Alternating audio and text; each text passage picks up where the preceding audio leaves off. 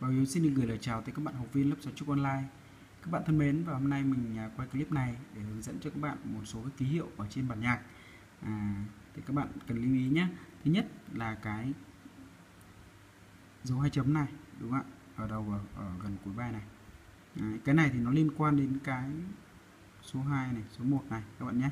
Cái số 1 này à, các bạn có thể gọi nó là chỗ 1 hoặc là lời 1 đúng không ạ? Đây là lời 2 à, cách thức thực hiện thì như thế nào? Tức là gặp một cái bài như này đúng không ạ? Các bạn coi cái này là mở ngoặc. À, coi cái này là đóng ngoặc đúng không ạ? Và cái dấu nhắc lại của chúng ta đúng không ạ? Tức là gặp bài như này chúng ta sẽ thổi từ đầu bài đúng không ạ? Đến khi à, qua cái số 1 thì chúng ta vẫn thổi bình thường nhé. Đến khi nào gặp cái dấu hai chấm này đúng không ạ? Tức là nó bỏ chúng ta là nhắc lại đi đúng không ạ? Thì chúng ta sẽ nhắc lại từ chỗ nó ghi nhắc lại đúng không ạ? Và có những lúc là chúng ta nhắc lại từ đầu như này nếu như không có cái dấu này nhé. Đấy, không có cái dấu ở đầu này. Đấy. các bạn vẫn nhắc lại từ đầu. Đấy, bởi vì là chỉ có cái điểm đầu thôi đúng không ạ? Chúng ta thổi lại từ đầu. Đúng không ạ? Và lần này tới đây rồi thì các bạn lưu ý là chúng ta không thổi cái lần một này nữa mà chúng ta sẽ từ đây. Chúng ta sẽ nhảy thẳng vào đây luôn và kết thúc bài. Đúng không ạ? Đấy. các bạn biết dấu ha, nhắc lại và cái số 1 số 2 rồi các bạn nhé. Sau đó thì các bạn sẽ nhìn thấy là à, có những cái này là cái gì? À, đây là những cái ký hiệu mà à, nhắc chúng ta là ừ, bạn phải nhấn mạnh đi nhấn chắc cái nốt này đi đúng không ạ? À, ví dụ mình đọc từ cái chỗ này nhé. À, các bạn sẽ thấy là nó nó, nó chắc nó khác như nào? Rê fa son la rê rê la son la fa fa fa đúng không ạ? Bạn thấy các cái cái, cái dấu đó nằm trên đầu nốt nào thì các cái nốt đó chắc hơn một chút đúng không ạ? À, tiếp theo chúng ta sẽ đến với à, bài này thì cũng là dấu 2 chấm 2 chấm này thì các bạn biết là nhắc lại cả bài hai lần đúng không ạ? À, còn cái gì nữa nha? Chúng ta sẽ cùng tham khảo một số cái à, bài về sau các bạn nhé. À một số các bạn có thắc mắc cái chữ MFMP này đúng không ạ? Nó là cái gì? MFMP này. À, nó là cái gì đúng không ạ? Thì cái này các bạn đừng quan tâm bởi vì là nó là cái độ mạnh nhẹ của các cái phách. Ừ, và cái này thường nó liên quan nhiều đến những người đệm nhạc cho chúng ta các bạn nhé. Thì các bạn đừng quan tâm đến cái phần đó. Còn cái chữ ran này à, là như thế nào? Chữ ran này thì à, chia sẻ với các bạn đây là chậm dần đều. À, tức là từ cái chỗ nốt rề này chúng ta sẽ chậm dần đều các bạn nhé. Và chậm dần đều cụ thể là như thế nào thì cũng giống như là khi các bạn đang đi xe đạp ấy. À, đây là một cột mốc mang tên là ram chậm dần đều đúng không ạ? Thì các bạn đang đi xe rất là đều đạp xe rất là đều. Và tới đây bỗng các bạn muốn nó chơi tự do.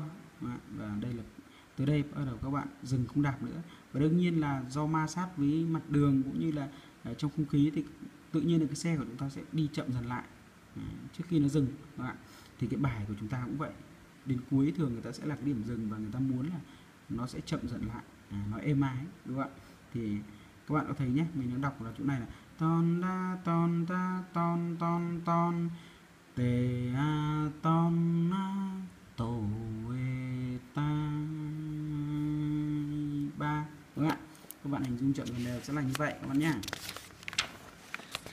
tiếp theo có cái ký hiệu gì nữa nha à, à một số bạn à, thì à, có hỏi về cái cái, cái dấu này. Ừ, cái dấu này đây là dấu luyến đúng không ạ? Còn đây là dấu nối. Tại sao đây là dấu luyến? Vì là các bạn biết luyến thì phải luyến từ trên xuống dưới đúng không ạ? Luyến từ dưới lên trên Đấy, khác nốt khác cao độ với nhau thì người ta gọi là luyến. Còn cùng cao độ với nhau như thế này người ta gọi là dấu nối nối hai nốt cùng cao độ đúng không ạ?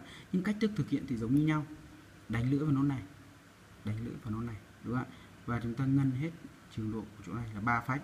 Có những trường hợp 4 5 6 phách thì chúng ta vẫn ngân bình thường các bạn nhé. Đấy, chỉ đánh lưỡi một cái vào đầu tiên này thôi các bạn nhé còn gì nữa ạ? Nào chúng ta cùng xem các bạn nha.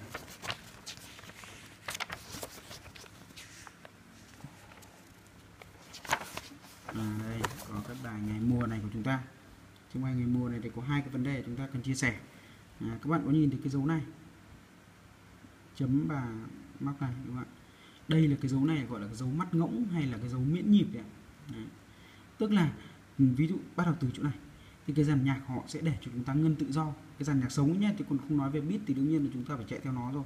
Thế còn cái dàn nhạc sống thì chúng ta từ chỗ này chúng ta sẽ được ngân tự do. À, ví dụ do mi son si do re chúng ta sẽ được ngân tự do chỗ này. Lại gặp ran luôn đúng không ạ? Re do la si son lúc này thì dàn nhạc sẽ chạy theo chúng ta chứ chúng ta không phải chạy theo dàn nhạc nữa các bạn nhé. À, và bài này còn thêm một điểm nữa đó là cái chỗ mi xón mi này đúng không ạ? Thì nhiều bạn thắc mắc là ừ, cái chỗ này hoa mỹ thì chỉ có một nốt thì tại sao chỗ này nó lại có hai nốt? Và các bạn lưu ý là chúng ta học rồi chúng ta biết là một nốt đơn này thì bằng hai nốt kép đúng không ạ? Chính vì vậy là tốc độ thực hiện vẫn như nhau. Mình ví dụ nha đây là nốt à, à, mi này. À, bình thường nếu không có hoa mỹ nó là mi còn có hoa mỹ ví dụ chỉ có xón mi thôi chẳng hạn nó là son mi. Còn bây giờ mi xón mi mi son mi nó vẫn như vậy đúng không ạ? Cách thực hiện tốc độ nhanh vẫn như nhau các bạn nhé. Đấy, và đương nhiên là cái trường hợp này chúng ta chỉ đánh lưỡi được vào cái nốt này thôi. Đấy, cái nốt đầu tiên thôi. Thế còn hai nốt đằng sau chúng ta không đánh lưỡi được vì là nó rất là nhanh các bạn nhé. Các bạn lưu ý điểm đấy. À, xem là còn một số cái nào nữa không ạ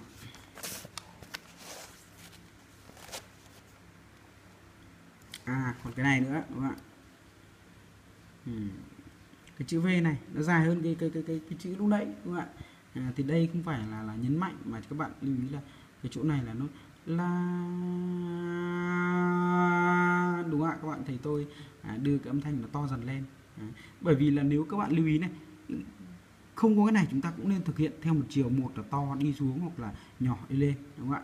Bởi vì là các bạn lưu ý nhé nếu như một cái cái bốn phách này nếu chúng ta chỉ ngân à, là la nghe nó rất là chán nó rất là cứng các bạn nhé thì các bạn cần lưu ý là đấy, chúng ta sẽ cần thực hiện.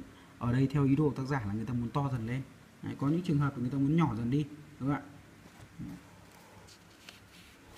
Thêm nào một ký hiệu. Đây các bạn cũng thấy là cái trường hợp này cũng có cái cái à, nó hoa mỹ kép. Đấy. Sau các bạn. Sau này thì các bạn sẽ gặp rất nhiều nốt hoa mỹ kép như này. Có cái gì nữa không nhỉ? Uhm. chúng ta cùng xem qua một chút này. đó là một số cái à, à đây này. Còn cái dấu này. À, là dấu gì? Thì đây thật ra nó là dấu nhắc lại hay còn tên gọi chuyên ngành người ta gọi là dấu coda các bạn nhé. Đấy, tức là ừ tôi thổi một lần từ đầu bài à, đến cuối đúng không ạ? À, và gặp cái dấu này ừ hãy bỏ lại nhắc lại một lần nữa đi thì tôi lại thổi một lần nữa. Và khi lần thứ hai gặp lại nó thì đương nhiên là nó nó hết tác dụng rồi đúng không ạ? Đấy, chúng ta thổi bài hai lần các bạn nhé. Nào còn cái gì nữa ạ? À, đây cũng có ran này. Ừ. à cái trường hợp này thì các bạn à, sau này lâu lâu nữa các bạn sẽ phải hướng tới đó là cái hai cái gạch này, tức là lưỡi kép các bạn nhé. Chỗ này chúng ta sẽ nhân đôi lên. Chỗ này la son, ở đây nó chỉ là la son, ở đây là la son la son, đô la son, mì. Thì thực tế là khi mà chúng ta thổi nó là taka ton con taka ton con toko taka ton con tì kỳ, đúng không ạ? Tức là nhân đôi cái nốt này lên. Đây không phải là một nốt la mà nó thành sẽ là taka đúng không ạ? Chúng ta thực hiện lễ kép là takaton con takaton con toku takaton con tiki ton takaton con takaton con toku takaton à, nó sẽ nhanh như vậy các bạn nhé. À. cái này là gì ạ? À, chúng ta sẽ sẽ à, chạy ngón các bạn nhé. À, từ đô lên là đố đúng không ạ? Đô hai lên à, đố ba. À, chúng ta sẽ chạy ngón. À, và chạy ngón thì trên youtube tôi đã có một clip hướng dẫn về cái này rồi ạ. À. Còn gì nữa? À đây các bạn nhìn thấy còn có cả nốt hoa mỹ 3 nữa đúng không ạ? Nhưng mà không sao chúng ta vẫn thực hiện như cái nốt hoa mỹ đơn bình thường các bạn nhé. À và các bạn cần lưu ý này trong bài thường mà những bài chuyển soạn thực tế chỗ sáo ấy, thì nó sẽ có những cái đoạn người ta định hướng là ừ từ chỗ này là phải nhanh vui lên đúng không ạ? À, đầu tiên bài thổi là hồn nhiên đúng không ạ? Đấy, các bạn thấy là hầu hết trong cái cái, cái, cái cuốn của thầy vượng thì đều có cái phần định hướng. À, ghi diễn chưa là chậm rãi. Để ừ. nhanh vui yêu đời này. Ừ, bài nhanh này. Đấy, các bạn thấy là tất cả các bài đều có cái phần định hướng của chúng ta. Đấy, đây bài biết ơn của thị sáu này thì à, là tha thiết các bạn Đấy, chữ tình tha thiết ở Việt Nam quê hương tôi này. Đấy, các bạn lưu ý cũng nên dựa vào đây. À, một phần để chúng ta thể hiện được cái bài đúng không ạ? Bởi vì có những bài chúng ta biết có những bài chúng ta không đương nhiên là chúng ta cần dựa vào đó. Đó là ý đồ của tác giả. À, một số cái mình chia sẻ với các bạn như vậy. À, chúc các bạn sức khỏe và sẽ luyện tập tốt bài. À, nếu như có thắc mắc gì nữa về các ký hiệu này các bạn có thể là comment à, ngay dưới cái bài viết này thì mình sẽ à, chia sẻ với các bạn à, nhiều hơn các bạn nhé. À, xin cảm ơn và xin chào các bạn.